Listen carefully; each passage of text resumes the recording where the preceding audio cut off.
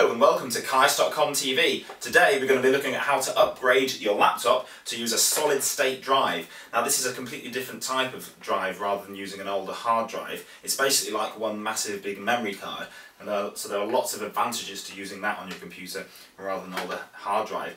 The main advantage is that they're fast. They're really really fast and we're going to be showing you some of that later on in this video.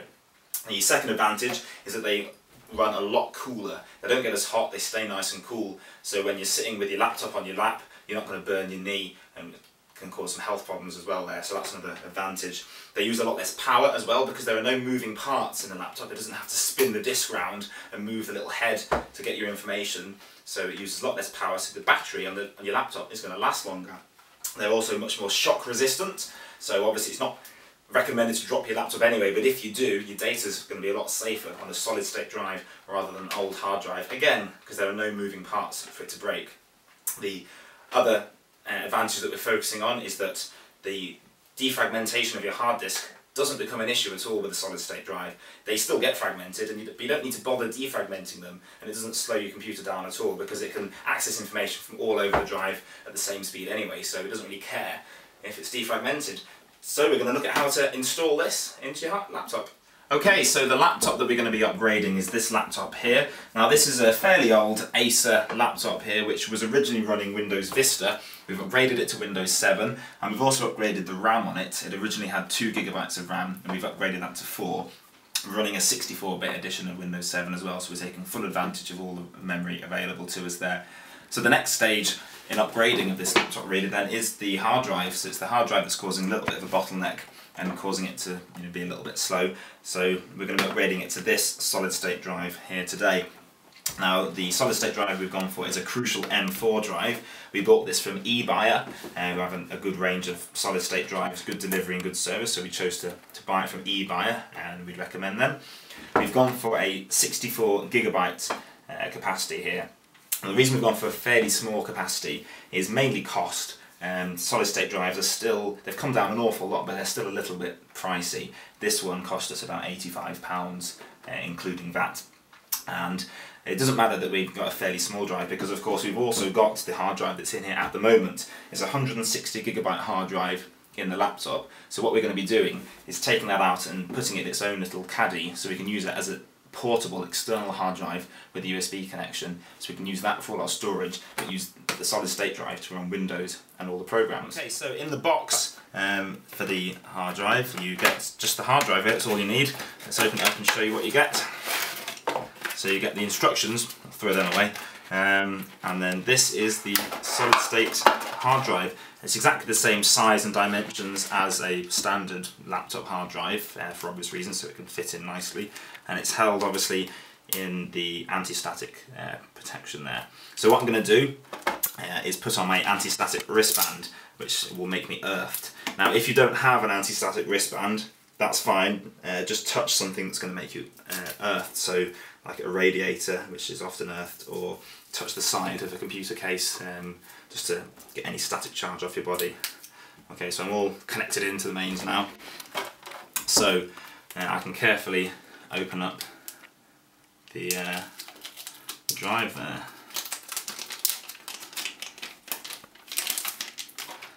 So here it is, it's basically just a massive big memory card um, which we're going to be using to run Windows 7 off. Now, if you've got software on your computer that requires a license to be activated, it's important to remember to deactivate this software from your computer before you reinstall Windows. The reason for this is that we're not going to be just migrating our Windows installation to the new hard drive, we're taking the opportunity to have a nice fresh installation of Windows. So the example here is Photoshop Elements 8, which required the serial number to be activated with Adobe beforehand. So if we're moving this software legitimately to another computer or with a new installation of Windows, we first deactivate the software, which means that we'll be able to install it no problem on our new computer with the solid state drive. Okay, so first off, shut down your laptop and uh, flip it over. Now uh, we want to make sure there's no power going to anything, so as well as unplugging it, take out the battery. So keep that to one side. Now you need to find where your hard drive goes in your laptop. Now on this one, it's down here. So we'll just unscrew this. Now it's always handy whenever you're taking apart anything to keep hold of the screws. I've got these little boxes, pop the screw in there, can't lose it then. Um, notice I'm still wired in some earth, so any static on my body is not going to harm the laptop or the hard drive. So open this up, and get all the screws out. There we are. And then, so that, take that away. Now this is the hard drive. This is the hard drive that's currently in there. So being careful with this. It's always a good idea to let your laptop cool a bit first before you start taking it to pieces. So this is our old hard drive. Now you'll notice that the hard drive is in, held in a case called a caddy. So what we're going to do is take that off as well Again, very carefully, so I'll use a different box for those screws so I can keep them apart. Gently slide the hard drive out and put that to one side. Now on my desk here, I've got this green rubber matting which makes it very safe against static. You don't have to have that but if you can, all the better. Now I'm going to slide this in the correct way. So line that up. So those are going to plug in there, aren't they? So I need to have that like that. Slide the solid state drive into the enclosure. It's a little bit of a tight fit on this one. We've had to slightly uh, bend it slightly, but there we are. That's fitted in nicely.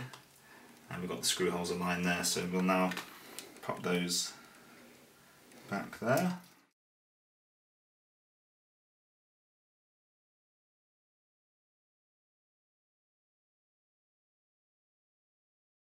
Okay, so now we've got the solid state drive placed in the caddy that the old hard drive was placed in. So this can now be placed back in there. Place that in, gently slide it in. Okay, there we are. Place this back on.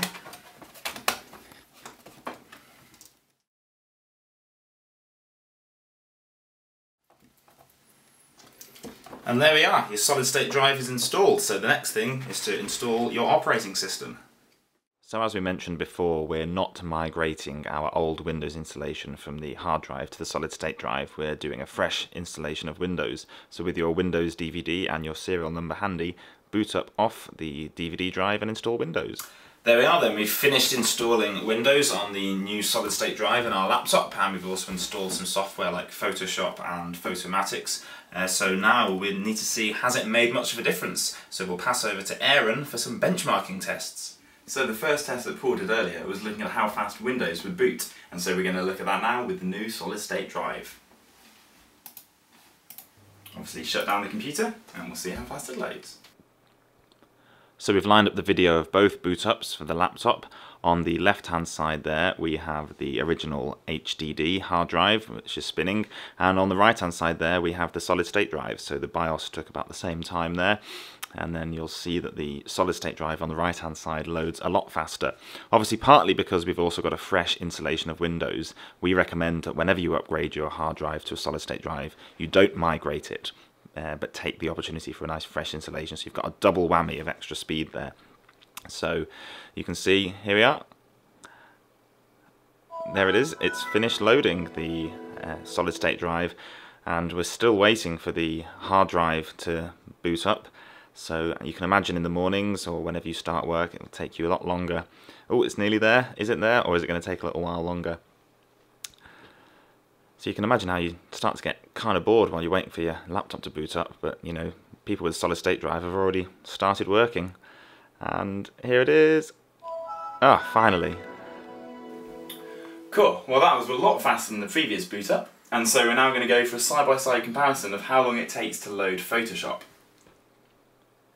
So in order to make this test as accurate as possible, we've lined up these two pieces of video to the exact frame where the Photoshop Elements 8 icon was clicked in the start menu, and then as soon as the edit button appears, we've clicked it straight away, as you can see down there on the solid state drive at the bottom, and Photoshop's finished opening already before we've even had a chance on the older hard drive to press the edit button there.